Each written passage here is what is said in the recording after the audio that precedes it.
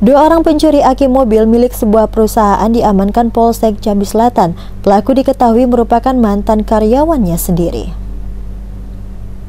Polsek Jambi Selatan berhasil mengamankan dua orang tersangka atas tindak pidana pencurian dua unit aki mobil milik salah satu perusahaan di kawasan Jambi Selatan. Dua tersangka tersebut adalah Rudiandi dan Agus Wandi yang tidak lain merupakan mantan karyawan. Dua tersangka nekat mencuri dua unit aki mobil milik perusahaan karena dendam dan membutuhkan uang setelah di PHK. Kapolsek Jambi Selatan AKP Rita Purnamasari mengatakan, kedua tersangka diamankan tidak lama setelah pihak perusahaan melapor ke polisi. Bersama dua tersangka, polisi mengamankan barang bukti dua unit aki, satu unit sepeda motor, dan dua buah kunci. Uh, pencurian dengan pemberatan tapi berupa aki mobil. Uh, berapa kali ini?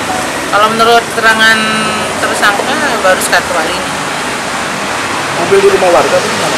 Rum, mobil PT, PT di sebuah gudang yang di Kalau di Welcome Jambi Selatan ini memang sering kejadian lagi. Ya ada beberapa kali kejadian pencurian aki tersangka semua yang main?